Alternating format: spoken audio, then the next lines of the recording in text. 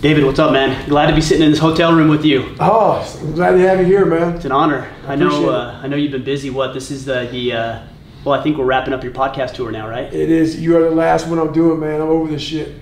Yeah. How's it been? It's been just insane with the book launch, or what? You know what? It's it's uh, been overwhelming for me. Um, people may think that I'm this extrovert guy now because I've been trying to get this book out there, but out of everybody with you know like like with their books, I think I probably took on the least amount of podcasts. I think we turned down over 200 podcasts.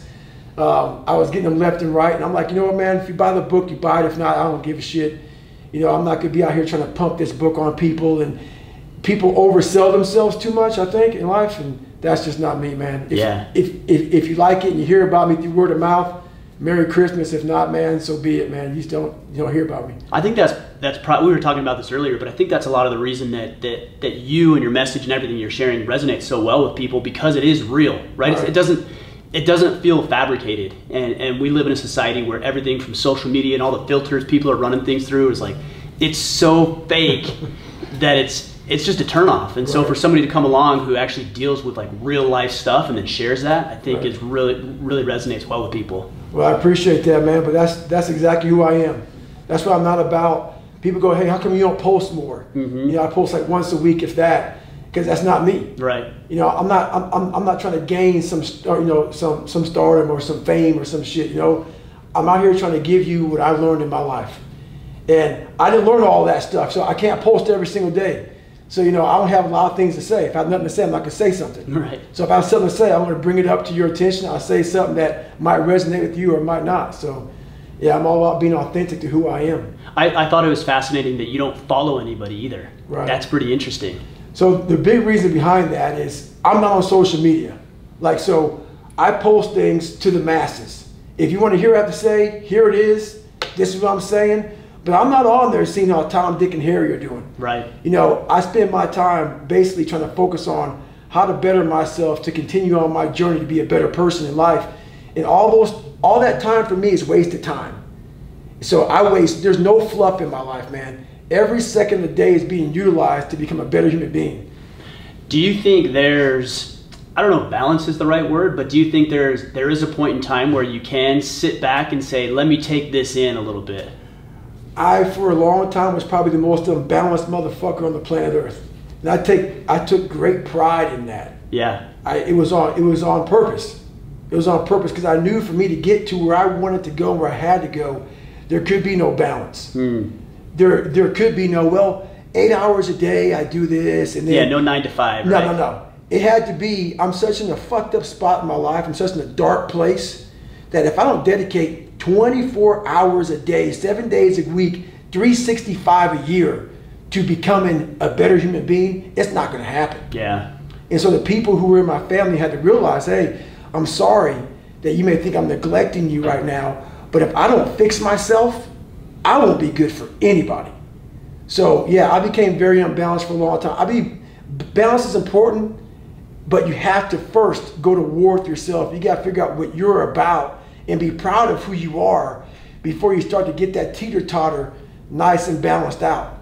So Yeah, that makes sense. I think I think if I'm hearing you right, what I what I hear is that in order to create maybe some of that balance down the road, you have to get a foundation under you. that's right. right? If you don't have that foundational knowledge of who you are and how you show up and what you're capable of, yeah, it's pretty hard to, to walk in any sort of balance between work and career and family and all the other things that you have going on. That's right. So if you read my book and you see what goes on, you'll see how many mistakes I make along the way, trying to find balance, trying to find peace in myself, and I fucked myself all up. I'm, I'm having relationships. I'm having, you know, I I get a girl, you know, knocked up. She's pregnant. I'm I'm in the worst spot of my fucking life. You know, I don't have a real job. I'm going through SEAL training. I haven't graduated SEAL training. I'm going back through SEAL training for the third time, and now I have a girl that's pregnant. I, I'm all over the fucking place. I don't have, you know, I have no money. I have, I have nothing. I'm, I'm establishing a life with a family, and I'm all fucked up. So, you know, a lot of us get in situations where we start establishing all these different things and pop up all these different pop-up boxes, and our life is fucked because we haven't fixed ourselves. You know, until you fix yourself, don't don't start another journey before you finish your own journey first, or, or not finish it, but at least get a good you know foot start into it. Yeah, that makes sense, and I think that's a lot of guys actually deal with that because what we've been told is is our responsibility as men is that we've got to take care of other people, right? We've got we've got our team, we've got our family, we've got our employees, we've got everybody else that we have to take care of, and then all of that, all of ourselves goes by the wayside. But you can't really sustain that for any any measurable amount of time if you don't have yourself taken care of. hundred percent, man. And I fell into that uh, several times, into that whole man thing. Get a family, do this, do that, and I'm and I'm jacked up. I'm insecure. I have all kind of issues going on. So I'm bringing all these issues into a family. And all that does is destroy your family. Hmm. If you are not the man of your house, like a real man of your house, not like I'm a man because you know you have a, a, a cock Right. and the balls, no Right. motherfucker. That that ain't a man. I'm sorry, a man has his shit wired tight. And I wasn't that guy. You know, I, I thought because God made me a man because I pissed standing up that I'm a man. No, that ain't how it works, man. Yeah, and I, and I realized that. I, I realized a whole bunch of times, man. God, God may have gave me the wrong shit. I gotta, I gotta, I gotta earn something, man. So I, I, I had to go back to that man mentality and start to earn that. Yeah, yeah, it's interesting because as I was as I was uh, I, I read part of your book and then I listened to a lot of it and I got to tell you I put a lot of little a lot of miles on the trail to uh, to your words. So yeah, not as many as you do, but more than I have in the past. So I do appreciate that. But I was really fascinated towards the end of the book because you talk about uh, some health issues that you were dealing with and through your stretching regimen. And the thing that blew me away about that is not that you were like, okay, I'm going to stretch, you know, for half an hour or an hour in the morning, you get worked out. It was like, I'm six hours a day, 12 hours a day of stretching to get yourself fixed so you can get back in the fight. Yes. So I want to show you something I haven't shown anybody before. Oh no, I don't know. I don't know if we. No, I'm not gonna show you none, none of that stuff. So you see these little spots right here in my Oh body? yeah, yeah. see this? Yep. So basically, these everybody wonders what happened. Right. These are very small spots. I look like a leopard.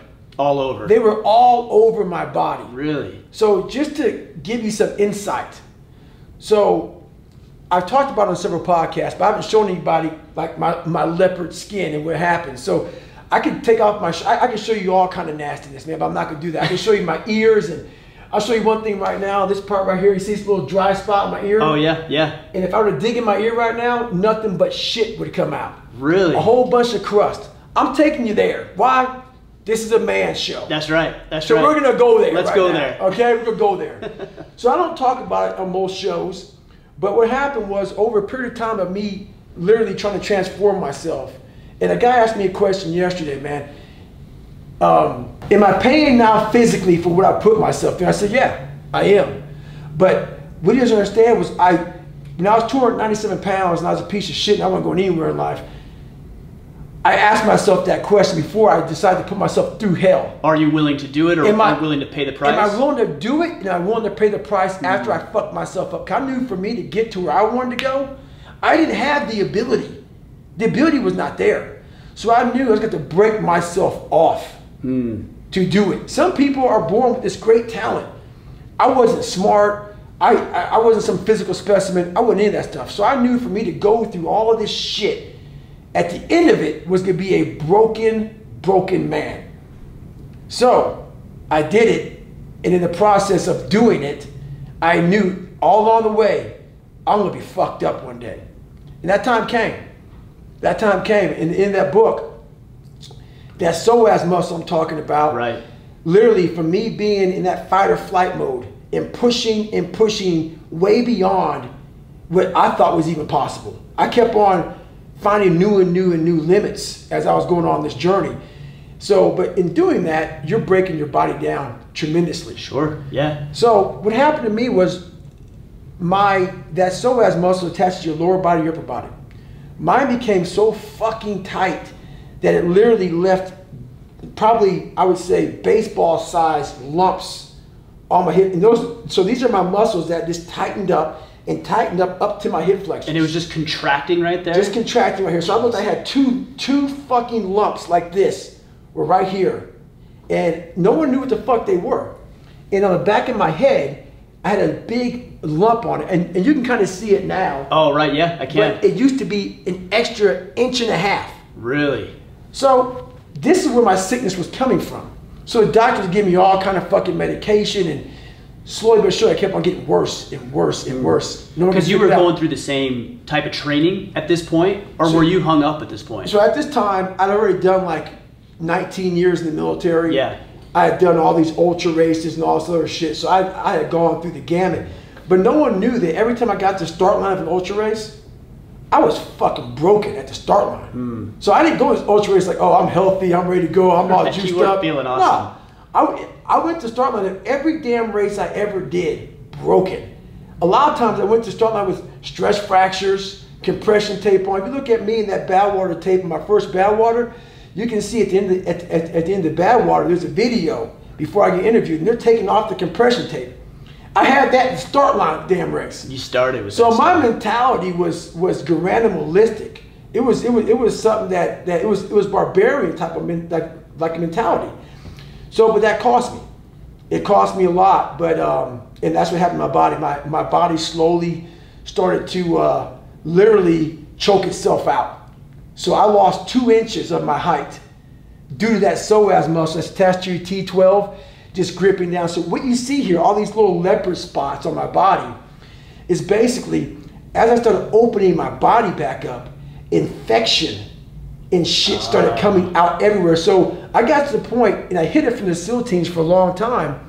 The last two years as a Navy SEAL, I couldn't Valsalva, which is clearing your ears to go underwater. Yeah, that yeah that depth was probably tough. But luckily, we drive, you know, we, we were diving Draeger systems, so you only go like, like, like 15, 20 feet. But still, at 15, 20 feet, you still got to equalize and, you know, and get your, you know, Valsalva.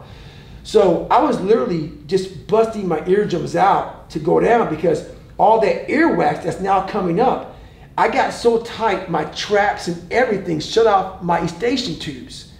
So whenever the doctors would go, they'd go, hey, doc, I cannot clear my ears. They would go in and check my eardrum. They'd be like, you have the cleanest ears I've ever seen in my life. I- You don't have any earwax. Hmm. Why? The shit was trapped and cut off. Ah. So the second I opened all this shit up, and my fiance will tell you it's gross as fucking shit, it just comes out like for two and a half years now. because it's been backed up in And then there. it's just it's a it's a sick it's and then the the leper spot. So I, I open something up, and infection. It's, it's it's it's something that I could write a whole fucking book about. But now after five years of doing this shit, I am uh, in the best shape of my entire life because my body, even going into SEAL training, because my my childhood was so messed up. Yeah. And that psoas muscle starts to get tight then. That I went into SEAL training really out of shape, or as far as my health sure. and I just I, would- I would tape it up. My mentality was tape out. it up, man. I, I, I just taped it up and kept on going in it, and I paid the man, but it was worth it. So yeah, well, that's what I was going to ask you. Was it worth it? Obviously, it was. You're saying that is now, but but uh, what what makes it worth it?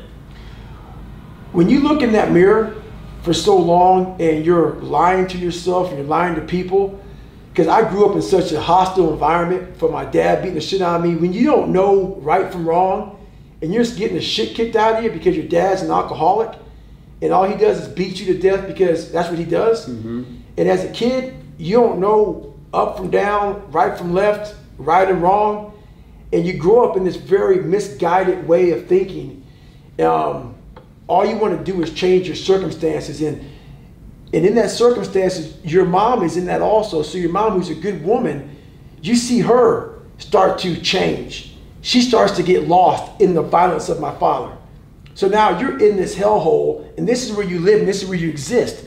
So now to find myself, there was no mentors for me. There was no one that said, "Hey, this Do is how you do this." You know, I pretty much skipped all of school. I cheated all through school. I didn't know what the fuck I was doing. It was like having a kid and putting that motherfucker in the sewer and saying, "I hope you fucking come out one day." Hmm. That was my mentality. So I had to literally talk about, you know, a man. I had to make a man in what I thought a man was supposed to be in my mind. I created where I thought a man was supposed to be in my mind. And that's what I started doing. So I looked at myself in the mirror and when I looked at myself in the mirror, man, I wasn't proud of who I was. And I, and I kept on backsliding and backsliding. And I made the decision and I was 297 pounds. I gained 125 pounds. I was 175 to 297. Had, had left the military, left the Air Force, and I was working for Ecolab, making $1,000 a month. I was at the bottom of the fucking barrel. I, I'd become exactly what life had made me and what I had made me too. I said, I'm gonna die trying. Mm. I don't give a fuck what it does to me. I don't give a fuck if I break myself off. I don't care if I lose legs. I don't care if I have stretch. I, I don't care what it is. I don't care how much pain I go through. I don't care. But this reflection in the mirror will change, or I will die trying. I will die. I will not look at this guy in the mirror anymore because I can lie to you right now. I go back to that mirror every fucking night, and I usually shave my head almost every damn night, and I gotta sit there for fucking 15 minutes and look at myself in the mirror. And that reflection is telling me every fucking thing I'm not. And it starts to, some of us are allowed to go away from that. I was haunted. Mm. Every day, 24 hours a fucking day, this voice would be in my head. Hey, motherfucker, you ain't shit. This is what you're gonna be the rest of your life, man. To the point I said, you know what? I'm gonna break myself off, man, trying to fix this person. So that's that's why it's worth it because now sitting in front of you today, I earned, I earned the right to be broken. And people go, man, what, what does that mean? Every scar, every wound, every broken bone, every issue I had, even all these fucking little marks come my body, it comes from sacrifice, trying to become someone. And I'm not saying do what I did. My life took me down a journey that almost forced me to propel myself to where I went. And it was worth it. This is a this might be a weird question, but are you do you are you grateful for those times? You know the, the, the times with your father, all the hardship, all the trial. Like how do you view that stuff now that you feel like you've overcome that and become something new entirely? Honestly, man, I'm, I'm very grateful for it. I'm, I'm, I'm more grateful for that than being a SEAL, going to Ranger School, anything I ever did in my life. My, so people always go like, like you know, they, they come to my house and I've done so many races and so many different things. I don't have an I love me wall. Hmm. You walk in my house, it's like you, you, you see the decorations on the fucking wall of what my fucking fiance has done. There, there, there's nothing about me. And they go, why is that, man? You've done so much in your life. Man, all this shit up here is priceless. Like everything I've gone through, all this, like, like, like the journey of my life has been something that I can, I can never, ever be able to say enough about. You know, it, it is who I am. You know, like everybody wants to be proud of themselves. When you finally become proud of yourself, you no longer give a flying fuck what it took to get there. Mm. And that's what people always say, man, look at you, man. You know, you have all this stuff happen to your skin and your body's broken, this and that. The feeling I have in my mind is priceless. And if somebody would say you had to do it over again to get this feeling again, I'd do it all over again. You would. All over again. Interesting. With a smile on my face. Roger that. That's awesome. Over again. Where so where this uh, where this idea of you know creating a the, the type of man that you wanted to be come from? Because you didn't you didn't have that, No. right? You, you didn't have some model of oh this is what I aspire to be like. Right. So where does did you create that, craft that in your mind, or were there influences that came into your life? It honestly came from I was a big time movie guy. Mm-hmm. So we had no money. We lived in a seven dollar a month place growing up for a long period of time until my mom finally got enough money to move out. My best friend, his name is Johnny Nichols, growing up. His parents had two VCRs. So they would go to the blockbuster, whatever the fuck it was called back then, Yeah. get a movie, and they would fucking illegally Record. take, record the movie. So I would come over there and I would go to Johnny's house and every fucking Sunday and Saturday they had they had like fucking a thousand movies, man. and I would go over there and start watching movies. That's what I did. They would be home, I'd walk in the house, start watching fucking movies. And one of the movies I watched was Rocky.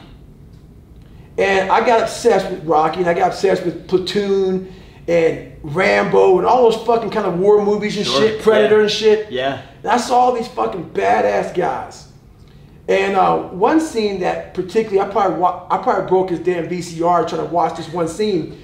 One scene that changed my life was only two minutes and 13 seconds, I, I believe around there, was Rocky 1, round 14. I talk about it all the fucking time, but it literally fucked me up. Like, you know how, you, how you're watching something and you get this weird feeling over yourself, like God, dog, that was fucking special. Mm-hmm. And you and you get chills, and you get kind of almost emotional. You get kind of choked up in your throat. So um, basically, man, I'm I'm sitting there. I'm real young, real young, going through all my hardships. Just left Buffalo, New York. My dad beat the shit out of me, and I, I have nothing. And um, never had this feeling before of, of watching inspiration. I didn't know what inspiration was. I didn't know I what any of that shit was. I. I just knew like, you know, just pain and suffering and shit. So when I saw this guy who was Rocky getting knocked down and getting knocked down, getting up, so I, I was intrigued. So I sat back and watched it a little bit more. And Apollo was supposed to be the baddest person in boxing, and he knocks this fucker down in the corner. And what brought my attention was it was like a perfect storm for me. Was the music was perfect. It was a perfect scene for me to like almost gain strength. And I, and I see this guy in the corner who, who, who reminded me of me. Guy couldn't read, talked all fucked up, you know, just kind of this dumb boxer. But he had something that I wanted. And um, Mickey was saying, his trainer was saying, stay down. Right. And he didn't hear anybody. He didn't give a fuck. All this guy wanted to do was go to the distance. He didn't want to win. He just wanted to be able to go the distance. And when he stood up, you know, off that, off, off of getting knocked down for like the 30th time, and I'll never forget the look when Apollo Creed finally thinks he won. His back is turned to Rocky as Rocky's getting up, and as Mickey's saying, stay down. And once Apollo turns around, he looks at Rocky, that he's now standing up in the corner. And the referee is standing beside Rocky, and Rocky's like, hey, you know, man, I'm fucking good. And when Apollo turns around, the look on this massive man who's the best boxer in the world, his face is just distraught. Like, what the fuck? Who the fuck are you, man? And when he's he's kind of wobbling in the corner, he's, he's all fucked up, but he's, he's like, no, man, not today. I just want to go against the best. I want to know that I am somebody. And he gets his gloves and he motions him back over. And Apollo's face, you know, he, he like puts his face down, he shakes his head, and I'm like, that's what I want. Hmm. That's what I that's what I want. So that scene was like, that's how I want to feel, because I was almost Rocky. I could feel how he was feeling. I know the pride he had to feel by motherfucker, I'm I stood up again. Right. And the pride he had to feel after going 15 rounds with the best person. He didn't win, but it wasn't about that.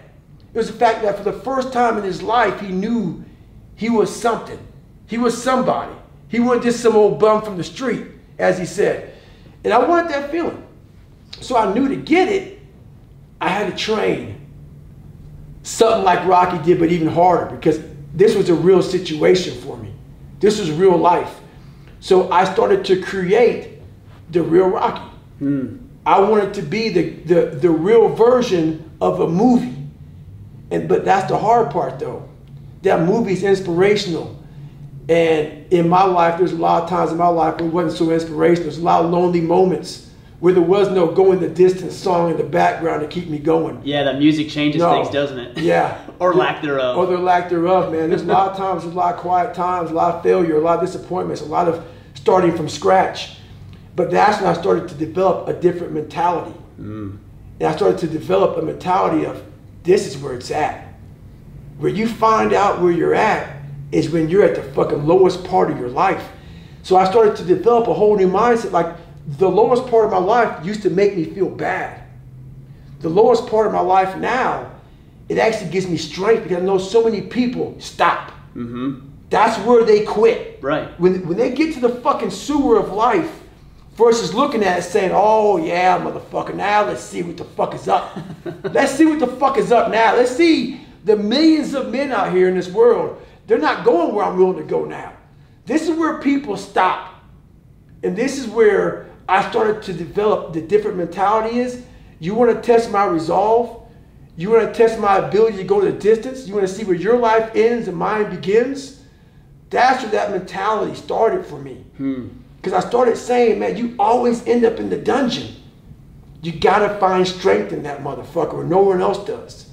So that that Rocky movie was a little bit of a spark, but to become that person, it takes a lot. Yeah, yeah, no, I can see. Do you feel like, uh, like you're, I don't know, having a chip on your shoulder, maybe, or being beat down enough where you thought, you know what, screw this, like screw everybody else, I'm gonna show them, or is it from someplace different than that? It used to come from having about 400 million chips on my shoulder. Yeah, I bet. I had Yeah. a lot. I and I think a lot of people probably read you and think, "Oh, this guy's angry." Yeah. I, I don't. I don't read that, but I Right. think that's probably what people Oh yeah. think. I, you know what's funny about me, man? I have zero anger. I'm a passionate guy, so I but I get it though. Sure, The yeah. way I talk, the way I come across, I'm an aggressive guy because that's what it takes to like. If you walk into a situation, into a fight, I'm not saying be so aggressive that you're that you're so aggressive that, that, that you're making bad moves. Sure. But if you don't have a little flame burn in you, knowing that I might get fucking hit real fucking hard, and when I get hit, I have to attack. I have to, I have to, I have to bring. I can't get knocked out. Right. Right. You have to have that mentality of. When I went to Hell Week, I knew I was gonna get broken. I had to have an internal flame in me that could never be. It, it couldn't be kindling. Kindling, you put a little water in the fucking kindling, that fucking shit's out. right. Yeah. Nah, I had to be a motherfucking tree that is burning hard. It's burning for a long fucking time. And that's what I became, man. So it's not anger. Anger can't sustain you for a long period of time. Because once you get in a situation, try trust me, I tried it before. When you get in a real hard situation and you're miserable, miserable, that anger is gone. Mm. What comes up is real the real feeling of who you are and where you're at, you don't want to care about them people who made fun of you in high school or your dad beating the fuck out of you. Because now you're you become selfish. You're like, let's say you're in hell week, you're in that cold fucking water, it's 50 fucking degrees, and you're and your balls are in your fucking mouth right now. You're sitting there thinking, oh fuck, dude, like your mind's not thinking, those fucking kids in high school bullied me or my Right. dad. That's No. the least your worries. No, you're thinking, so that anger can fuel you for so long. There has to be something so deep in you that drives you. So what, what really does it for me is I know what we're capable of. And I know that most human beings aren't willing to go where I am. Hmm. And that's a very, very dangerous thing. I'm not saying I'm better than anybody else. Everybody has this talent. Sure. It's not a talent. It's just realizing that we stop way short of our true potential. So through my life, I realize these things. And I know what gives me fuel is I know that most people who are blessed with so much talent, great parents, great upbringing, didn't come from where I come from. They're going to quit before me. Having all the tools that they have, they didn't have the ability to examine themselves. When you have everything so nice in life, it's, it's great to have a great life. Yeah, no doubt. But what happens is you don't self examine, you don't do a live autopsy. When you have a fucked up life, it almost forces you to do a live autopsy. It forces you to find strength from places that no one looks from. Because food is not at the ready. You know, your me, I have a learning disability. It's not at the ready. I can't just pick up a book and start reading. Right, right. There's, there's preparation behind everything I fucking do. There's, there's everything I do has to come with so much fucking preparation. It's despicable. It makes me sick. My own personal life makes me sick. That's why I'm so disciplined now. Without my self-discipline, there is no David Goggins. Hmm. Like I can't like stop reading. I won't be able to read tomorrow. It will. I will lose it that fast. Wow. Yeah. You know, I you know I cannot stop going to the gym. My mind is set up in a spot where hey, the second I stop, it wants to stop. Because I had a quitting mind growing up. When you get beat the shit out of you all the time, your mind wants to go to that nice spot where you're comforted, where you're not trying, where shit is easy. That's where your mind, it doesn't want to think. You have all these things in the mind, and, and the mind can only absorb so much shit. So all the pain that has to go through, it does it wants to push it away and say, let's not do that. So every day I'm fighting where the mind wants to go.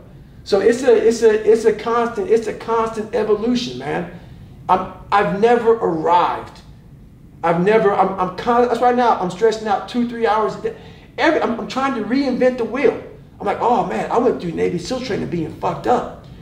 I ran over 7,000 miles in 2007 being fucked up. I did pull-up records being fucked up. Now that the mind is so fucking strong, let the body catch the mind. So that's now where I'm at. So I'm always trying to reinvent the wheel and see what I'm capable of next. Yeah, that's that that's that's an interesting point. So what most people look from the outside is they say, "Oh, this is a guy who has it figured out. He's got it dialed in. He's achieved X, Y, and Z." And what you're saying is, you don't even fully believe that you've reached your capacity. I haven't even touched 50% of it yet hmm. because I didn't realize until I got so sick how sick I was going into some of the hardest things in the world. When I, when I realized how tight my body was, because you know I, I didn't I didn't bitch about shit. Right. I didn't go through like like like when you're going through SEAL training, you don't sit back and say, "Hey man, do you have this problem? Do you have that problem? You know, hey man, I'm having a tough time just getting my leg over the fucking cargo net." Because literally, my abductors were so fucking tight. How I ran was like I took like steps like this big. Oh yeah. I wasn't like striding out. My shit was fucked up. I mean, I would, and so at that time, I was 24, 25 years old. I was literally spitting in a Gatorade, a 64 ounce Gatorade bottle. At nighttime, I would drink it. And then at nighttime, I would hawker up these brown fucking loogies. And the bottle would be halfway full by the time I got up at 4 o'clock in the morning to go back to work. I figured everybody was doing this. Right. No. The inside of my body was all fucked up. I was deathly ill. I would I'd be swimming in the fucking ocean. This this this coughing. I I had double pneumonia all through. I was fucked up. I thought everybody had this. No, not everybody was that fucked. I had stress fractures. Why did I have stress fractures? Because my body was it was so tight in my hips that was forcing my body to go in. Oh, and I was putting pressure all on the inside of my body. So I lived with stress fractures, trying to tape up my body, tape up my shins, tape up shit. You don't go through. So I went through training this way. I was so fucked up. Issues with my fucking abdomen, issues with my fucking groin, all kind of messed up issues. So I realized I went through training, 100 mile race, 200 mile races, pull up records, all on the mind. It wasn't a physical thing I had. I was broken, literally broken at the start line of everything I did, including Navy SEAL training, Ranger School, everything I did in the military, I was fucked. But I didn't sit back and say, hey man, so no one knew. Right. No one knew. Yeah, because you weren't talking about it. I want to talk about, it. and this is really the first time I really talked about it. So I basically realized, my God, man, at the sixth time in my life, I realized, my God, I was so fucked up the entire time. So now, the mind is so powerful. I figured that out. Sure. Now, if I can get this body all stretched out, opened up, get all my organs working properly, now let's see at 44, let's see what can really happen. Yeah. So you're just getting started then. That's the mentality right now, man. So, yeah. What separates somebody like yourself? Because I mean, let's be honest. You're you're not the only one who's dealt with serious hardship in your life. No, not at all. But what separates somebody like yourself who's managed to rise above it and somebody who takes the same type of hardship and uses it to play a victim card or a pity party and go cower in the corner? Right. It's how you look at it. And I looked at my shit was this is the perfect training ground to being a man. Hmm. You know, a lot of people, like I was talking about taking the path of least resistance. I believe in life you must earn the right to be called a man. And a lot of people do not think the way I do, and that's fine. I'm not asking to be David Goggins. Trust me, it's a hard fucking road to hoe. It's not Sounds fun. like it. It's not fun all the time. But the thing about it is, you have to look. I, I looked at my hardships as challenges. Once I got over the pity party, because I went through that phase. Of course. I'm a normal human being. But I realized that that got me exactly where I was at, even worse. As I looked at those challenges the way most people do, woe is me. Why the fuck can't I get a break? Why I wish I was better. I wish my parents were better. I wish I had a better education. I wish this, I wish that. They have all these wish sandwiches. I started realizing how can I fucking figure out how this shit can fucking work for me?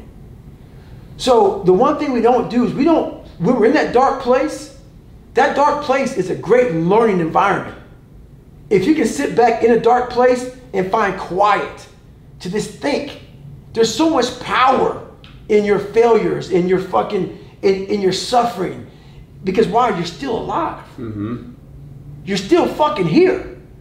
So you gotta look at that shit as, my God, man, this is power, man. Like, now I gotta flip this shit. How many men will be able to do what I'm about to do, what I'm about to try to do? Like, literally, what gave me strength was when I was at the worst of my worst.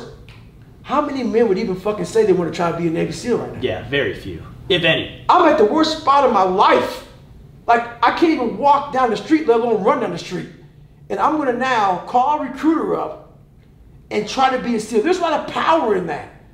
But people don't see it there. They see it, man, that's stupid. Did you believe at that point that you really could, or were you being, do you feel like, I don't know, over aspirational, or did you like genuinely believe I could do this at that point? I genuinely believed I could do it. And the reason why, because I had this voice in the back of my head that I kept on running from. I was afraid of the water. I was afraid of dealing with things that made me feel unaccepted. Mm. I didn't accept myself. So I kept on going towards things that I felt good. Let me let me go this way. But something kept on saying, motherfucker, you you have it, man. You got it, man, but you're gonna have to fail a lot. But you have it. And like I said, that, that voice kept on haunting me, but that voice kept on saying, if you face it, you realize it's not that bad. What what what do you think that voice is? I mean, I, I always, to me, it's God. Yeah, I know you've talked about that a To little. me, bit. it's Yeah. God. And um, I don't get off on the whole spiritual tangent. You know, I, I, I don't push that on anybody. I don't care what you believe in. But if you think you're the only motherfucker out here, just just chilling out, and there's nothing, I, and I don't know what God is. I, no one does. I, I, I don't know anything about it. But I know there's something that is above David Goggins. There's there's too much energy in this world. There's there's too much. Trust me, I've experienced it, man. There's too much energy, and, and people call it God. You call it what you want. There's something out there that if you can tap into more than yourself, that, that there's something out there that, that, that truly exists. That if if if you're able just to let yourself go there, it truly exists. And that voice has been in my head, and whatever it is, it's been there. And I didn't want to listen to it because listening to it was painful. Listening Hmm. Like how to it so? because it drove me to my fears. It drove me to my insecurities. It drove me to my lies. It drove me to the spot that made me feel self doubt. And I didn't want to go there. It drove me, it, like, hey, over here in this pile of shit where everything is at, you're going to find the true meaning of your life. But I'm like, over there is all the bad shit. I don't want to go over there. Right. Like I, I don't want to. you? I don't want to go like like like my dad's over there. The people didn't like me over there. I'm over there. All that shit is over there. But once you go over there and start to re-examine that shit and start to master what you're afraid of, it's unbelievable, man. Like I wish to God, the only way I can really describe it is if I can get my brain and put it in someone's head and say, "All right, motherfucker, just shut the fuck up and just hear." I can't explain it well enough. But here, I'm not super fucking man. Just this look, this is what happens. Because basically, what's over there is victory. It's all fucking victory. But you have to have the balls and the fucking courage, man. And that's the hard part. There's no science behind this shit. There's no fucking practice. It- Literally, you have to have the balls to go in your own life and your own shit. And once you go in there and you're able to face and able to talk about it, you're now on the even playing field with everybody in the world. I don't give a fuck where you come from, how much money your parents have, how much money you didn't have. If you're able to handle yourself, know what you're about, know what you're made of, know how fucked up you are, you are now on an even playing field with the world. So once I did that, all these people who have more money than me, where they came from, had great parents and they're like, oh my God, I caught all you motherfuckers that quick. Because all the money, all the surface things go away. Because we all are human beings. Right. That money and shit, all that material shit doesn't matter. It's what's deep inside of the core of your soul that fucking matters. And that's what I realized, man. I, I, I leveled the playing field out. But I had to go over there and face that shit first. Yeah, I, I, I think that's right. I mean, I've experienced that to some degree in my life is that we all deal with the same insecurities, right? Right. The insecurities I'm dealing with are the same insecurities that you're dealing with. That's right. And yet, those people who have never had the courage to go step into those insecurities, they may just be operating from a position of talent or a gift or some fortunate event that happened in their life. And so when hardship comes to them, Right. they're inadequate or they can't fully overcome that hardship because they've never had to deal with it before. they right. didn't voluntarily go into it. Exactly. Exactly. Do you feel like going back to Rocky? Do you feel like there was a moment where you said, "I am Rocky"? Like I have, I have made it this 14th round, Um, or are you still trying to get there? Oh no, man. I and I'm not I'm not one to kiss my own ass because obviously I tell myself how fucked up I am, but I'm also believing you have to give yourself credit when credit's due. And I became that fucking movie and then some. Like if you look at the Rocky movie and I look at it now, and it's still inspirational. That that scene still brings back those those moments. Um, I saw a Rocky trained in the movie, but I see what I went through in real life. That that movie's a fraction. That all those movies I watched that inspired me, they're all fractions of the real work I put into my life. And I don't ever talk about enough. The amount of work I put into being who I am, I don't have enough time in the fucking day. Like I don't talk about it. I don't I don't brag about it. it no one even knows about it. Like 99.9% of the shit I did to get to where I'm at today was alone. Hmm. Alone. Out there running in cold, and heat, suffering, in pools, trying to swim. At home in a fucking room by myself, trying to teach myself how to read and write, how to study. You know, no one saw that shit. There was no video camera, there was no podcast, there was no Who's David Goggins. Right. What that fucking No documentary. There was no docu fucking mirror that shit. It was me. I just just for me trying to get in the military, which everybody can do. It's easy. Just trying to learn how to read and write was something that blows Rocky away.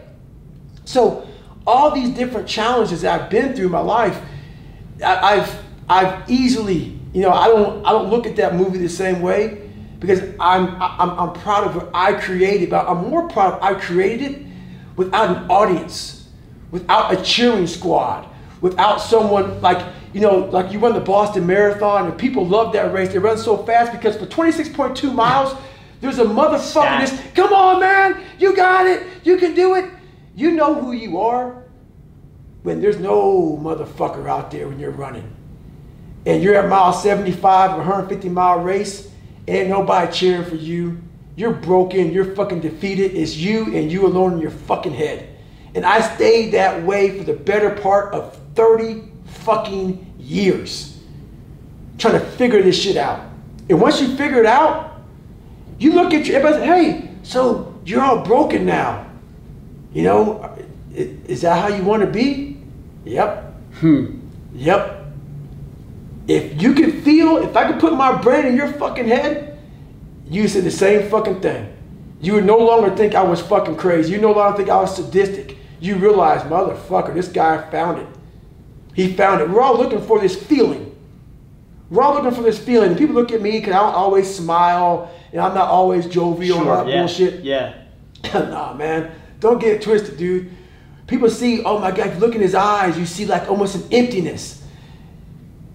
People say that about you? Oh yeah. That I- actually surprised me because Oh, from yeah. the minute I walked in this room, I saw something different. because you understand. Hmm. So many people who are judging us don't understand. They, they don't want to look in the eyes of me. They don't want to look in the eyes and study them. What you see in me is fucking real life. That's why people, a lot of people resonate with me because I skip through all the fluff. Mm-hmm. I skip through all the fluff. Right. Fuck that. I I can't fluff shit. I can't. Why? I don't know what that is. Life didn't present me with fluff. So I'm expressing to you what I know a lot of us are going through. A lot of us are going through fucking hell. Maybe not as bad as me, maybe worse than me. Sure. But they don't know how to express it because we're supposed to live in a fucking world where we have to talk a certain way. We have to walk a certain way. We have to act a certain way. A kinder, gentler world. Nothing gets handled in that fucking world. You stay fucked up in that world. You stay in a world of things will get better because someone said they would, and I need to find peace. No, you need to go to fucking war with yourself, man.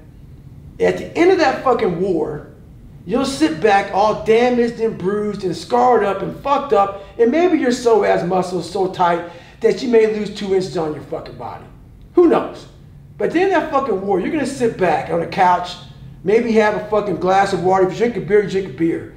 The war may be 30 fucking years, but when it ends, you will know what the fuck it's all about then. And then you'll find your fucking peace.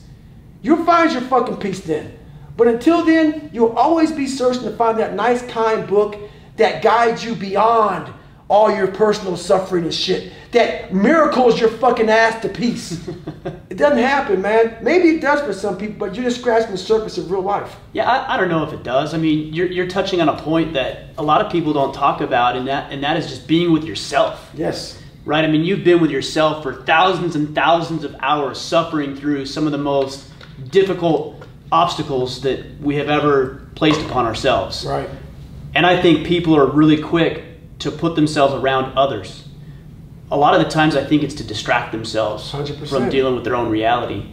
But is there value in mentorship? I had a friend, I- and, and he knew you and I were going to be talking, and he said, Ask him about mentorship. He didn't talk about that a whole lot.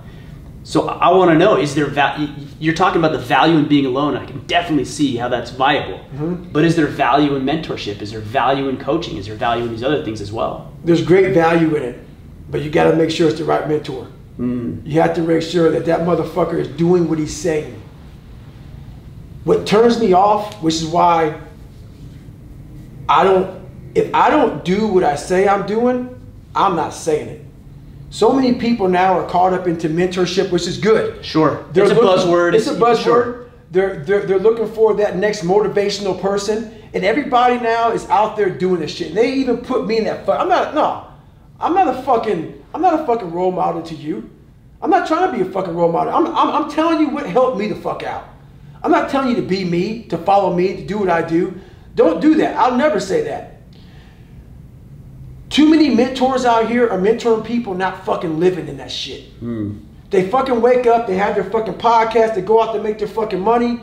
They, they, they talk this great shit. They, they, they get from what I'm saying, they get from what you're saying, they get from what somebody's saying, they flip it in some fucking way and they fucking package it out and they sell it to people. It's a bunch of shit. Why? Because they're living the high life, they're living the good life, they're getting paid high, and they're not fucking putting in the work.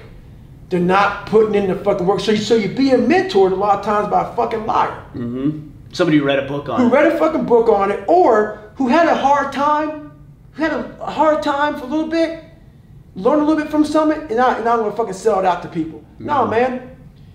If you're living that, you have to live that way. You have to live in the grind of life. I'm, I'm not saying live in the hard times of life. Work out every day. Better yourself every day. Suffer. Go, go back to a spot that's not so fucking comfortable for you.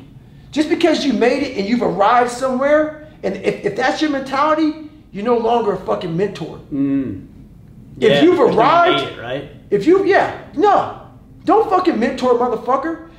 If if you're happy where you're at, take a few steps backwards and go back to where that one spot that made you.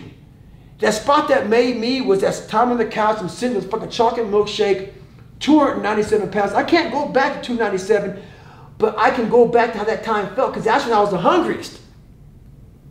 We lose the hunger and then we go into mentoring people. I'm mentoring you from a nice 72 degree temperature room. Everything is great. I'm making millions of fucking dollars and people are mentoring people. That's great. What did you do today to get uncomfortable? What did you do today to earn that manhood? What did you do today to mentor my fucking ass?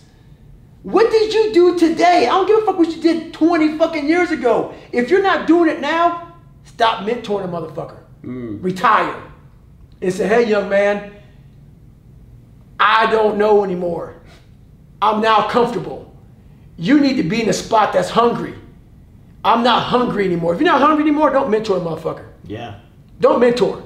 And that's my and that's my belief. So yeah, give somebody some tidbits because you got some knowledge. You know, you're an old guy, got some knowledge. Sure. Yeah, I think there's some some moral responsibility a hundred percent. a hundred percent. But I believe a mentor is a person that you look at and you say, "Motherfucker, man, that's what I want to be like." He's 44. He's whatever he is. He still lives it. He talks it. He lives it. A lot of people are talking it. The moral of the story is this: a lot of people are talking it and they ain't fucking living it, and they're mentors. Yeah. Bullshit. That's why I'm angry. I get angry about this shit. Why? Because a lot of people, man, are living this fucking dream out here, man. I see though people have people got my fucking name tagged with these fucking people that I know that aren't doing shit. Oh, Don't yeah. tag me with the motherfucker like that. oh, this guy, I'm not gonna drop names, that's not who I am. Don't tag me with the motherfucker. Don't tag me with fucking anybody. Because I know for a hundred percent fact that if you talk to me, I got my shit in. And I'm gonna get it in. And when I stop talking, you know one thing. I ain't doing it no more. Mm. 'Cause I ain't got no more to fucking say because I'm not telling you what I'm doing now. I'm telling you what I used to be. So don't tag me on shit. Fucking, you know, with me and this guy, this guy all helped you out. A lot of them guys ain't doing shit. They're fucking reading the book, getting some else's shit, writing about it, and they're fucking your mentor. No. A mentor is a person that's fucking grinding the way you want to grind. Still. Still, Yeah. today. Yeah. That's just my two fucking cents on that. Uh, that was like three cents, but, but man, I like it. I like it. Like the, I, the passion is what inspires me, man. Is because because there is there's a lot of fake out there. There's a lot of just nonsense, and there's a lot of just regurgitation of the same old stuff. And so I think when somebody comes along who actually has something real to say, you're like, oh yeah, this is this is what I need. This is what inspires me. Even though you may not be feeling like you're supposed to be mentoring or are mentoring, I think that inspiration is is huge for sure. Well, I appreciate that, but it's just real. I, Yeah. I like real people. If you're not real, man, shut the fuck up, man. I want to Shut talk about accountability mirror. Right. Because in, in going through your book, I thought, man, this is this is genius. But I also thought and wondered, is there a level where the self-talk, like literally looking at yourself in the mirror and the self-talk become destructive rather than constructive? And where do you find that line? So it's a thin line. Definitely. It's a fucking thin line, man. I, and I and I walked it when I when I invented the accountability mirror. I walked it hardcore, and you have to walk it mm-hmm. because we live in a world where you have to love yourself, and it's important to love yourself. I'm all about that. You gotta, eh, but we also live in a world where if it helps me to help you, I help you. Some selfish motherfuckers. Sure. So yeah, back to your question. The, the accountability mirror is something that you have to be so real and raw, and you can't talk to yourself in a nice way. But you can't get so bad in that accountability mirror where you get it twisted and you start putting yourself down all the time. You got to call yourself for what you are, but you also got to give credit where credit's due in the accountability mirror also. So when I did the accountability, you know, I was like fucking in high school when I did this shit, and I was a fucking character. I was a fucking, I was a liar. I was a character. I was a cheat. It took several years to get out of that, man. I didn't know, and, and I hate to put ignorance on something, but when you're trying to literally invent a man out of nothing, you have a whole bunch of shit to go through, man. Yeah. And I had a whole bunch of shit to go through. And it took a lot of years. But I also think, you know, from my perspective, I, just to interject here Uh-huh. is like, you know, you talk about cheating, for example, right, in Mhm. school, and I think, yeah, yeah, it's cheating, no doubt, but it's also doing what needs to be done Oh yeah. in order to achieve an objective. I was a survivor, my friend. And that's what I'm talking about. Now, is there a better way to handle it? Yeah, probably, maybe, but at the end of the day, you got to get it done. I I was the I was the epitome of getting it done. Mm-hmm. I wasn't proud of how I got it done. Mm. I wanted to be proud of it. I wanted to earn. I wanted to earn how I got it done. Yeah. That was the thing, man. That's what bothered me. I didn't give a fuck about cheating. I still don't give a fuck. If, if there was a test going on, but the thing about it is now I'm happy that it bothers me. Mm. Now I'm like, motherfucker, you should know that shit. You know, you you need to be the best person in this class. It, based on what I'm hearing you say, it's that it's not your best. Right. It's not my best at all. So, back to the accountability mirror, you have to call yourself out for what you are. And at that time, I called myself out. But you also have to be careful for a lot of people getting this mentality of we live in a world a lot of times now where people don't believe they're good enough ever. And they continuously talk about this I'm not good enough. I'm not good enough. I'm never gonna be good enough. If that's your accountability mirror, that's not how you do that. Mm-hmm. That's not how Yeah, you it's not that. helping. No. Call yourself out for who you are at that time. Be real with yourself. Be honest. And then start to fix that. And change. So the most important conversation is one you have with yourself. You have to change that conversation. If you're a negative person and all you talk about is, I'm not good enough here, that person, that's not how that works. That accountability mirror has two sides to it. You call yourself out and you also start to have these small victories. The small victories. Don't don't have this big grandiose. You know, like I want to be a Navy SEAL. that trust me, man. Don't do what I did. I had very limited time to do what I did. So my accountability mirror became huge and grandiose. It's too much for the brain to comprehend. The brain can comprehend if I had to lose 106 pounds in less than three months, which I did, mm-hmm. that's too much. You quit doing that. I quit a hundred times during the process. Just fucking look at it. If your goal is 106 pounds, be happy when you lose a fucking pound. Progress is always about moving forward, not moving back, not staying stagnant, moving forward, even if it's one small step at a time. I've been stretching out now for almost six years. I take all these steps back, all these steps, but I see that I'm, I'm, I'm going forward. My body's trying to go forward. i have been patient, impatient. Now it's 2019. I've been doing this for almost six years. I'm about to go back to Badwater 135. Are you really? It's been since 2014 when I had to drop out for health issues. Could never get back to the start line. And guess what? Haven't shared this either. I was I went from running 205 miles in 39 hours to not being able to get out of bed. When I dropped out of Badwater, I went to the emergency room. A couple months later, a few months later, I'm in my bed, not able to get out of my bed. Mm-hmm. The doctors couldn't figure anything out with me. Nothing. I sat in the bed and I smiled. I didn't put this in the book. And I went through it all. And I said to myself, I'm gonna win Badwater. I couldn't even fucking walk. Mm. I couldn't get out of bed. 2014. And my mentality is, I'm gonna win fucking Badwater one day. Is that right? And I swear to God, that's exactly what I thought. Versus laying in that fucking bed, thinking this is it. And I thought this was it. I thought that. Sure. I said, man, sure. no one can figure it out. How do you fucking get this sick, man? How the fuck, my, my body's shutting down. My heart rate's all over the place. I'm an AFib. I'm all fucked up. What's going on? I've had two heart surgeries. What, what is wrong with my health? And I sat back after I calmed down. And I, stepped back and I smiled. I'm in the bed. I said, you know what? This is it. You can win Badwater one day, brother. And what's funny about that, I'm now 2019. I'm in the best shape of my life. I'm not saying I'm gonna win a fucking race, but that was my mentality. Sure. And that's the one thing that kept me going and saying, okay, let's stretch out.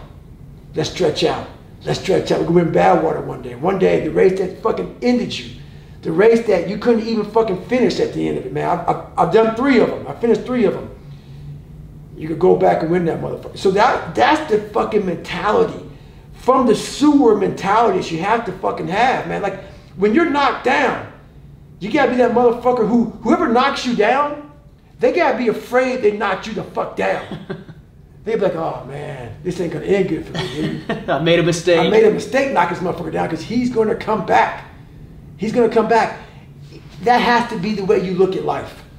I may not win bad, I don't give a fuck about that. It's that mentality. It's that mentality of if you knock me the fuck down, you're gonna say to yourself, I shouldn't have done that to that motherfucker. Mm-hmm. That's the mentality that keeps you in the fight. And that's all it's about, man. This is that uh, the concept of taking souls. That's right. right. I love right. that concept. Yes. I think some people might look at that and say, you know, that's a negative way to look at it, or, or you know, you, you should you shouldn't want to win at the expense of other people. I, right. I think that's what people naturally say. Right. But as I was going through this concept and really trying to understand what you were saying, like, it's not truly it. No, that's. I mean, this is this is powerful. It's an imaginary game. Right. It's an imaginary game that you're playing with yourself in your darkest moment. You're utilizing people, they don't know that you're utilizing them. Right. And you're not physically manipulating people no. or, or sabotage. That's not what we're talking not about. Not at all. Here. And like you talked about taking souls, I invented that in one of the worst times going through Navy SEAL training. Mm-hmm. So it was Wednesday, and I talked about it in the book. I'm sure you know about it, sure. but for people who don't know about it, I invented taking souls because my soul was being taken from me. I felt the energy being drained from everybody in my boat crew. We had six guys in my boat crew. I felt the energy being drained. It's Wednesday, and on Wednesday, everybody, so it's, so Hell Week starts on Sunday, ends on Friday. And through rumor mill, they all tell you on Wednesday, man, you're fucked up. you're just destroyed. And I've been through three of these motherfuckers, man. So I knew that that's the case. But that's the case because through the years, that was just the pass down. Sure. So you start to create someone else's fucking mentality. Self fulfilling prophecy. That's right. Yeah. This ain't my fucking mentality. I'm what Tom, Dick, and Joe told me. I'm feeling what they said on board. So now you start to feel that way. You're all defeated and shit. So going through my second hell week, I'm realizing, hang on, man. Joe told me this shit. Mm. That's Joe ain't. Joe ain't Goggins, motherfucker. Joe ain't God. So this is how I talk to myself, man. I'm like, Joe ain't Goggins, motherfucker. So what you can do now? Your boat crew's all fucked up. How you getting fired up? All right, man. So I'm looking at the instructors on the beach, and they're all fucking, you know, they do eight-hour shifts. They have these instructors, eight hours. They come in, they go. There's three shifts. So they're all fresh and they're all chilling Sure, out. yeah. Parkas, it's nice and cold out there. They got nice jackets. We're all wet and miserable, sandy and fucked up. They got a cup of coffee and they're looking at us, just jackhammering. I'm like, these motherfuckers are taking joy in this shit, man. I would take joy in it. But I also know that these guys, these instructors, are looking at all of us students and they're reminiscing back to when they were us Of course. and how fucking miserable this time is for them. They're like, I would never want to do that again. There's power in that. There's power in knowing the human mind. So I'm like, okay, roger that. So what I'm gonna do is I'm gonna get inside your motherfucking heads right now. They don't know what I'm doing. So I get my boat crew of five other guys, me making six guys, and the whole evolution now is all you gotta do is just lift your boat over your head, six of us guys, but by this time you're all weak and you're fragile and the boat's coming down. Yeah, it and- sounds easy, right? yeah, it sounds easy, but on Wednesday, not getting any sleep, the boat's heavy. So now the boat's on your head. It's like, get the boat off your fucking head. You're trying to pick it up. And this this is the rhythm. This is the battle rhythm now. Then now they're fucking with you. You're tired, you're a fucking zombie, and now they're playing the fuck fuck games. We got them. We got them. the class is cut down in fucking size now. The chinks in the armor. The chinks in the armor. But I'm saying, okay, motherfucker, here we go. I tell my guys, hey, check it out, dude. Follow my lead just give me a few seconds. Give me a few seconds of motivation, man. So instead of just having the boat over your head, we're gonna start fucking boat pressing this motherfucker, man. At the top of the boat press, we're gonna loft that bitch. Like, dude, I don't know if you can. Like, just fucking, you can do it. Trust me. Just do it for a couple seconds, and you'll find strength in it. So I start yelling, you can't hurt boat crew two! Can't hurt boat crew two! And my guys start to feed off. So, so like, like the boat's kind of doing this at first because some guys are in it, some guys aren't. After a while, man, the whole fucking boat crew two is fucking. So boat crew two, it goes off your height. Sure, yeah. The taller you are, it's like a height line. Right. So boat crew two, we're the second tallest boat crew. And we're just jacking this fucking boat up now, man. And me and my boy Bill Brown, the front of the boat. And so the front of the boat is the heaviest part of the boat Okay. and we're just fucking going crazy. And all the other boat crews just trying to just keep this motherfucker up. And we're just jacking it up. Can't hurt us. so now we're looking, I'm looking, because they don't know what the fuck I'm even doing. Even my boat crew doesn't know what I'm doing. I'm looking at the fucking instructors' faces. And I can see that they're broken a little bit by the mere fact that it's fucking Wednesday and these guys are supposed to be dead. And they're not broken. Mm-hmm. And I saw a look in their eyes, kind of like the look I saw with Apollo Creed when Rocky got Oh, up. yeah. The look of like, the fuck. And I could tell a lot of them respected us, but a lot of them also like, kind of like that hatred, like fuck you, like that alpha male mentality Sure. of you're Now a it's a game, it's a contest, right? You're a little bit better than me. You guys are students, but now we became the instructors. In my mind, this is power in your own mind. This is what I'm thinking, that they're thinking. So then I, I turn around after all that's done, and my boat crew now is fucking jacked the fuck up. And we start just to take over Hell Week again. We lost no races, hmm. 130 hours, lost no races, won every fucking race in my second Hell Week.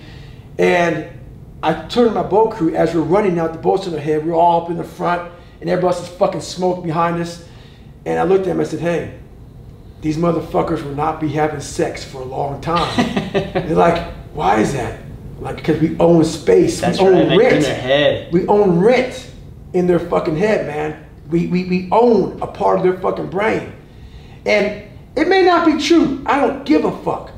But in times of need, you must find ways to find strength.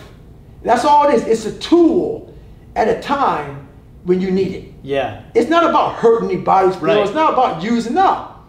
It's a tool. I don't know what the fuck they were thinking. I don't give a fuck what they were thinking. Doesn't matter. Doesn't matter. I know on Wednesday night of Hell Week you're broken and I wasn't. And I know that something registered in their fucking head. Hmm. That's enough for me.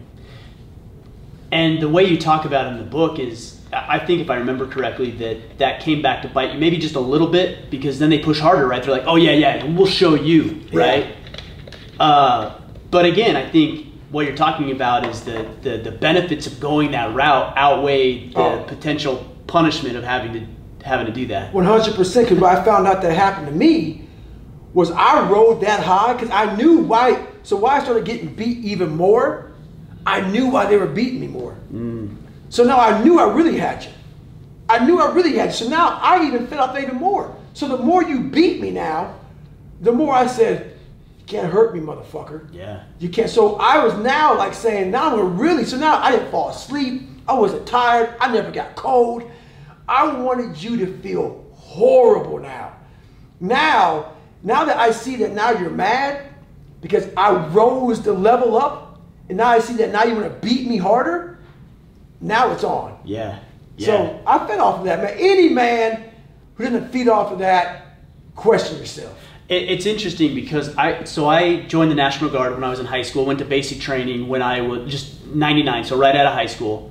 And some of the advice I got, and, and I never really understood it, and I still don't understand it. When people say today, is they say just blend in. Don't volunteer. Blend Right, in. right, right. Oh, Just yeah. blend in. Oh, yeah. and, and to me, I'm like, you know, that might you may survive because you adopt that. That's right. But at the same time, I'm, I'm thinking to myself, like, that's how you want to live your life? Like, that's how you want to live any element of your life by right. being mediocre so people don't see you? Exactly. That sounds ridiculous to me. People love the gray man, and they tell you that in SEAL training. They tell you that in SEAL I training. Yeah, I bet. But what's funny about this, I was a 36th black guy to ever make it through in seven years. I ain't blending in regardless. yeah, there's nothing So- you can do to hide. I was lucky. so I'm, I've, I've been the only, I, I call it the only in my book a lot. So I had no choice. I've been around white people my whole life, and I've been the only black guy in every situation. yeah. So that worked to my advantage and my disadvantage. If I'm walking and being the only person, you better be a bad motherfucker. Mm. Because you can't hide. Right. You cannot hide. Right. So for me, I knew that. I knew that going into every situation. I put myself in those situations intentionally. Because I wanted to be the guy that just stuck out like a fucking sore thumb. Here I am. I'm the only I'm the only black guy here. How you doing? How you doing? Owned it. Owned it. Owned it. Versus nowadays, we can't even talk about fucking race. Mm-hmm. Everybody gets buttered. People wonder why shit's not getting fixed. Why the world, and I'm going on a little tangent right now because it makes me sick. Everybody's so fucking thin skinned, man. Yeah. Blacks are thin skinned, whites are thin skinned. There's no fucking communication. Like, for instance, I'll never forget when I was trying to sell my book. Funniest thing happened. I self published. Mm-hmm. Yeah. Funniest thing happened. I had a couple interviews a couple publishing houses, and you know, back in the day before this happened, and a couple people were like, "Hey, man, you know, you're a, a black guy with an interesting story, but there's only like 15% of America's black." So they thought that I'm only going to sell this fucking Only book to black, black people. Like, dumbass motherfucker. So I'm sitting there thinking, this is your dumbass mentality. Yeah. 90 fucking percent of the people that follow me are white. Yeah, sure. And they're from all walks of fucking life. Some are fucking from the backwoods of fucking Montana. Some are fucking high scale CEOs. It doesn't matter. It's a fucking communication barrier. We all suffer, man. We all suffer the fucking same. The thing about life is we can't fucking communicate, man. Everybody's so fucking thin. If, if people were to get some fucking alligator skin, problems would be fucking solved. Right. Because you could have the conversations that need to be had. You can go there. Right. You can go there without being offended and being buttered, talk about what happened years ago or centuries ago or decade or whatever the fuck happened. We can deal with what's going on and how we can solve fucking problems. Mm-hmm. How men can sit down, black, white, of all fucking colors. I don't care if you're fucking gay, black, lesbian, whatever the fuck. We can sit down and fix shit. You can't fix shit if you as a white man sit back saying, "Oh man, We can't talk about the this. fuck am I gonna say with God? His name's fucking black dude. This fucking guy may go high order, man. He may fucking blow the fuck up by missing something about. So how do I? Do I say black? Do I say African American? Right. What the fuck? That's some of the problems I have with America. We just are so fucking weak that we can't get anything fixed because we're so fucking soft, man. So what what does that require then? Does that require guys like you, guys like me, guys who are listening to the podcast Yeah. to be able to have real conversations That's about right. real issues? It's man the fuck up. You're not trying to hurt my fucking feelings. No. You being a white man, you are not trying to hurt my fucking feelings. You are trying to, yes, some people are. Sure. Yeah. There's people out there, no there's doubt. people are. When there's people who want to get together and solve problems, you have to go to the ugly places to see what offends you, Mm-hmm. what bothers you. You have to say the shit. You have to ask me, hey David, why do some black people get offended when all I say is this? You have to be able to say, so I can tell you why. Right. And then we learn. And we learn. Without a conversation, there's no fucking knowledge, man, on anything. On anything. If you get your, like me, I'm a black guy. I got my butt hurt all the fucking time. There's a time in my book when I was a junior in high school and I went to all white fucking school. Five black people in my, in, in my school and probably like five black families in all of Brazil, Indiana. I stayed butt hurt. Oh, fucking this. I thought the whole town didn't like me. Mm-hmm. No, there was about 20 fucking racist motherfuckers that didn't like my black ass. So I hated every white person. You lumped everybody in there. Everybody. So I started watching Malcolm X videos and losing my mind on black people. It's gotta be black. It's gotta be black. If you're not black, fuck you. The ignorance behind that, the amount of ignorance behind it. I'm not saying the black and white issue, man, but it is sometimes. It becomes that something because of ignorance. We lump everybody into shit because we're not thick skinned enough to fucking be open minded to know not everybody's fucked up like that, dude. And nothing's gonna be fixed until we fucking get open minded about the real problems of life. Yeah. Period. We gotta be able to talk about white people have to talk about it as much as black people. Right. And all colors and genders and races have to be able to talk about it. Period.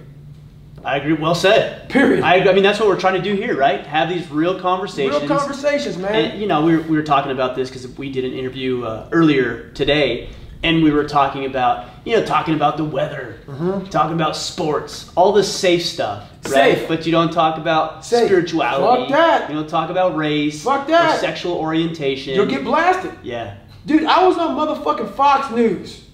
Black guy on Fox fucking News. Okay? That's bad. That's fucking real bad, dude. I fucking, I, I might as well be a sellout black guy now.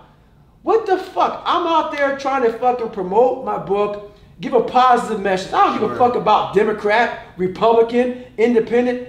I'm a fucking American. We just, we, we, we, everything has to be so packaged. In it, we, we are so ignorant in this world of how we view things. Everything has to be neatly, like, like you said, safe. Mm-hmm. and and not only safe but predictable. Like Yes. you as a black man, you have to be a Democrat. Have to be. I Have, to have be. to, I have to be a Republican. That's right. Right. I'm So- glad we're saying this shit because it's true shit. Right. If I'm not a fucking, if, if I walk into most black areas, and let's say I'm, a, I'm not a fucking Republican, I'm not shit, I'm Goggins. Let's say, but let's say I am a Republican. That's fucked up for me. Yeah. I'm on the wrong side right now. Right. Right. That's fucked up. That's that kind of th- that kind of shackled mindset. We are shackling ourselves as all people, not just blacks, whites. All of us are shackling ourselves just by that mere fact of just that. Mm-hmm. It's true what you said, but we don't talk about that shit though. Yeah. No way. But it's knowledge. We know it's true. Everybody knows it's true. We true. know it's true, but we're not gonna talk about that shit. But that's why when you say things like this, that's why people are are I don't know about relieved, but they're like, finally, yeah, you know, like somebody I'm said relieved. something. I'm fucking relieved. And so many people, like I see some of these people on TV, man, who say shit that is so fucking innocent. Cause I'm, I'm not thin-skinned. Mm-hmm. I want you to say the shit you want to say. Don't hide it. If you have an issue with Black American white issue, talk about it. I want to hear about it. Mm-hmm. People have to. If you say one thing that people take offense to, man, your fucking career's over. Just because a motherfucker wasn't intelligent enough to, to know that I can't say this or whatever, because no one talks about anything, man. Yeah. It's just it's just a bad society right now. It makes me sick. It makes me sick for all races, colors, genders. Everybody's so fucking politically correct right now that nothing's getting fucking fixed. Hmm. Nothing's getting fixed. That's why I like talking to your white ass. Yeah. Yeah. I'm a black motherfucker, and we're talking about some shit. Yeah. It's great. Agreed, man. And that's what's so powerful about this podcasting platform and the medium and just being able to have real conversations. Real conversations, Sit down on the couch and have a conversation. Yeah, judge me, motherfuckers. You're about judge me. Merry Christmas, man. Merry Christmas. Go back to your hole and hide. Hide and, and be mad because you can't fucking take a, a conversation with that's trying to help. Mm-hmm. The conversation is going to help the situation. Sure. Because half of this shit's ignorance, man. Like like that guy about my book. No one's gonna buy your book, man. Yeah. I sold six hundred thousand fucking copies in seven fucking weeks, and most of it to white people. Come on, man. That has to open your fucking mind that something I'm saying is resonating with a lot of people. And I'm a black guy. Yeah. I'm a black guy from a small white fucking town. Obviously, somebody out here in America, we're missing something here. Right. We're missing something. I don't know the answer, but we're missing something.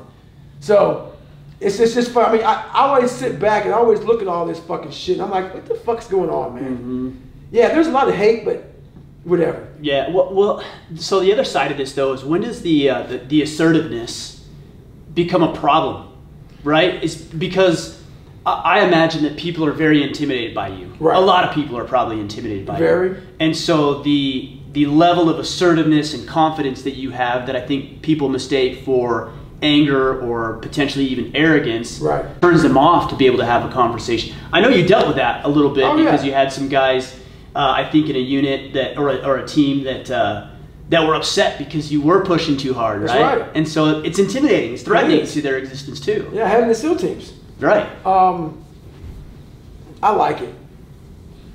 It shows me who you are as a person. If you can't sit in the room with me or anybody else man or woman to fuck up, I don't need to talk to you. Hmm. Because why? My life experience has taught me one thing. David Goggins, you used to be a little fucking pussy. And if you cannot man the fuck up now and talk about what's on your mind and push other men and other women to be better, and if they don't want it, that's fine. Mm-hmm. But for me, I know that you have more in there. We are better. We are better people from people like me pushing you to a spot. You have two choices: to either hate me like a motherfucker, Yeah. or to say, "Hmm, maybe there's something behind this fucking guy." Yeah. That's why I love telling where I came from. If people were just to hear me talk now, I can see how you see I'm an arrogant, pompous, disgusting, fucked up human being. Roger that. If they don't see the other side of it, You have to see my childhood. You have to see where I come from. You have to see how I talk about myself in the third person back then. How I had to overcome that pussy that I used to be, that lying, that insecure person, to get here now, to now deal with real problems. The person, so a lot of people who are in that bad spot, they can't handle me because they can't deal with real problems. Mm-hmm. If you can't deal with real problems, you're going to definitely hate me. Because how I became myself was dealing with my real problems. right? And also now, once you deal with your real problems, you can now see other people's real problems. But I mean, what you're doing is you're saying, here, let me shed some light on some things that you know deep down you're already dealing with, That's all you I'm doing, been man. recognize. And what people do, they get mad at me right. because I just called you the fuck out. Right. And the reason why I'm able to call you the fuck out, because I know what you're fucking thinking, man. there. I've been there. So I don't talk about anything that I don't know about. I don't just start randomly just having conversations. I'm talking the black and white thing to you right now. Why? I'm a black man that lived in white America and got called nigger more times than I can fucking count. Got spray painted nigger. If, anybody should hate white people forever, it's me. It is me. I got fucking spray painted nigger in my car, got in my fucking notebooks everywhere. Everywhere in my life. The Klan marched down the fucking street in the 4th of July parade of where I lived in 1995. Hmm. I used to despise white people. And it's that same fucking stupid ignorance that I had that drove me into a spot of being, of not being successful, of being shackled by wow. And guess what? You know the funny thing about this shit is? I've had a few people come to my rescue in my life. All of them have been white. Hmm. White men. All of them have been white men. So if I'm not man enough to sit here as a black man and look at that shit, I'm not calling black men out. I'm just saying so happened to be there's been three white men when I was in the lowest part of my life that says, you know what, man, I see value in you. Hmm. And they said, I'm going to help you out. Who are those people? One guy's name is Steve Wazowski, Navy SEAL. Another guy's name is um, Scott Gearen. Scott Gearen was uh, Air Force pararescueman back in the day that I was like fucking 16 years old, 14, 15 years old. I was in PJOC, I was in high school, and I only met him for like two weeks pretty much. And it's, it's, it's in my book, it's Yeah, actually in my audio book. this, right? Yeah. And I searched this guy. I literally called him up, $500 fucking phone bill. $500 phone bill, man. Trying to search this guy out, man. Literally in seeking this guy out. He knew me for one week. Couldn't even really remember me. And I said, hey, man, can I come stay with you, man? Guy didn't know who the fuck I was. Really? I flew out to Key West and stayed with him for two weeks. And he didn't say too much to me, but you know, it's just those kind of situations right there that I can count on one hand. And there's good people out there in the world, man, of all colors. And we have to open our minds up to all this shit, man. Sure. We have to. Yeah. It's important. Well, it's powerful. I mean, you what what what opportunities and conversations and right. opportunities for growth are you missing when you close Huge. yourself off that way? Huge. And I closed myself off my junior year completely. And I realized, you know, so you have to be honest with yourself, dude. You have to be honest with yourself, all this shit. All the hate you feel for, the, for another person or hate you feel for yourself. Once you accept all that shit and you know, hey man, this, this fucking shit's fucking toxic. Mm-hmm. It's fucking toxic. And you're not gonna get any growth from it. All you do is become more and more ignorant. And trust me, man, you, you fall down a rabbit hole of being so fucking stupid that you, you, you can't ever climb out of it. Mm. So that's, that's what it's about. That's what it's about, man. Call yourself out for what you are, for whatever you're going through in life. Bring it to the surface and fix those fucking issues, man. And I challenge people to do that. You know?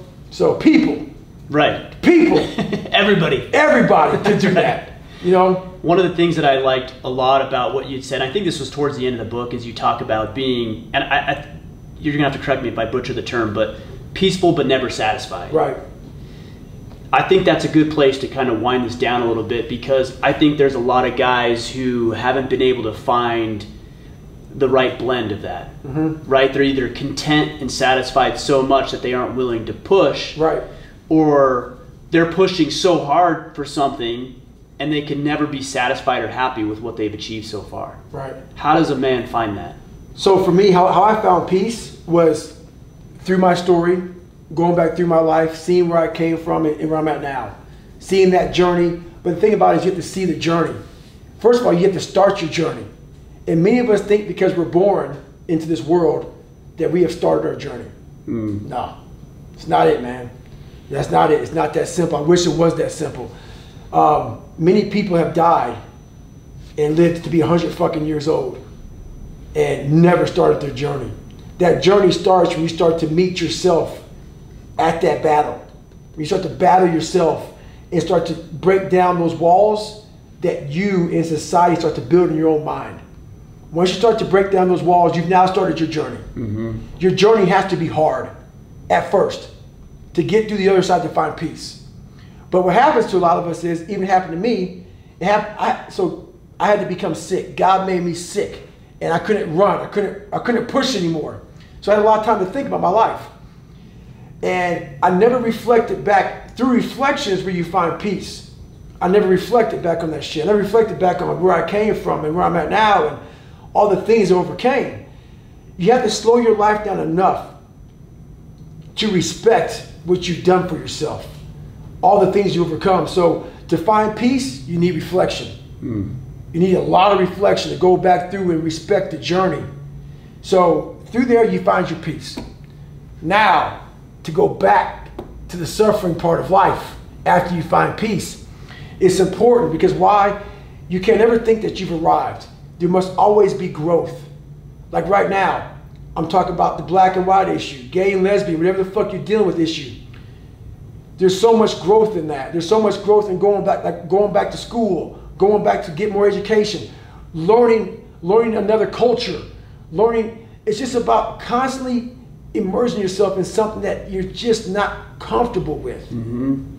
It's not about running a lot of miles. It's not about, you know, going back to these hard fucking like crucibles of like doing all these different challenges physically.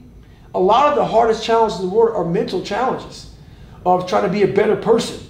Like for instance, man, I talked to this guy the other day, man, just to bring up another race issue. He's like, hey man, like I, I gotta be honest with you, man. Like I was born hating black people. Mm. And he, he, he, he goes, hey, I, he goes, how, he go, are you able to take this conversation? I go, yeah, what's up, man? He goes, you're, you're my mentor. And I, and I have to tell you this, man, because, you know, I, I grew up calling black people nigger. Mm. And he goes, and he looked at me, he goes, I, I hope that you don't hate me now. I go, you know how much fucking courage it took for you? I go, motherfucker, I respect you more now than fucking ever. I don't, I don't know who the fuck you are, but now I respect you. Yeah. Because if you walk up to me and tell me this, that I'm your mentor, and then almost start crying to me, because for 30 years of your life, you made black jokes, called black people out of their fucking name, called them nigga. Now you're talking to a black man who was called nigga more times than I can count. You're telling me that, please don't hate me now, but you are, you are now my mentor. Mm-hmm. That's growth. That's the suffering. You know, that's that's part of the you know maturing in life that I'm talking about. We, you know, so that's the going back and trying to always fix yourself. You're not, you're not always fixed. Through finding peace, you're proud of yourself. It doesn't mean that you're totally fixed and you're all good and everything is great and now I've arrived and I can be comfortable. No, man. It means that you're proud of yourself. Mm-hmm. But in being proud of yourself, take that time to say, okay, man, but I'm still fucked up in a lot of fucking areas.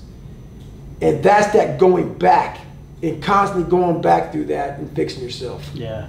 So what's uh, so what's next for you then? I mean, I know you've always got something going. Talking about the race that you're going to do again. I mean, what else? What else can we expect from you? Honestly, right now, uh, it's, it's getting back to the start line of that race. Mm-hmm. Um, I've uh, I've applied to be a, you know, I'm not even talk about that right now because I don't feel like fucking getting into that. But I've uh, going back to Badwater, um, trying trying to get out there to that race again. That that was the last hundred miler or over I've done, and that was 2014. Right. That means a lot to me. I want my, my, my ultra running career to end on a note of me saying, hey man, my health got the best of me.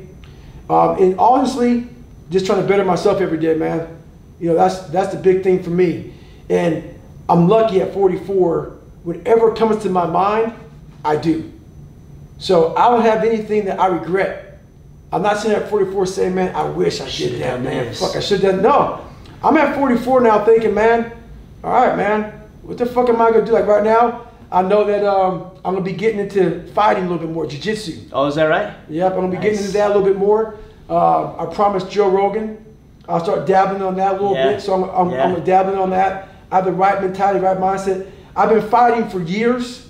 You know, I don't I don't know karate, but I know crazy, as James Brown said. so I've been I've been fighting for. I've, I have a good mentality, a good hard mentality, but I need to learn some technique. Sure. And um, you know, I'm I'm gonna dive into that.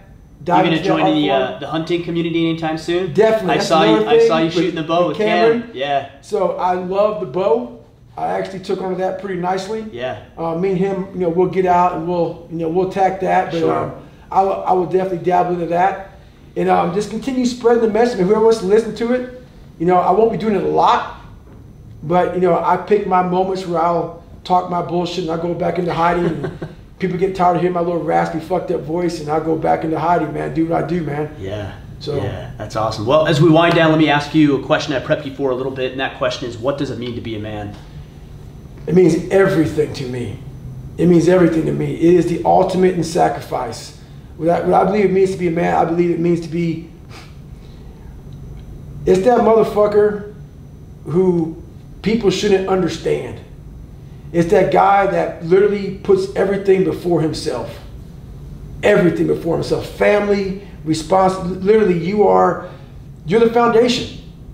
Which is why I talk about you have to make sure that you're ready to be a man and have a family and, and take on these responsibilities of life because you literally have to shoulder so much of the suffering. You don't want to see your wife suffer.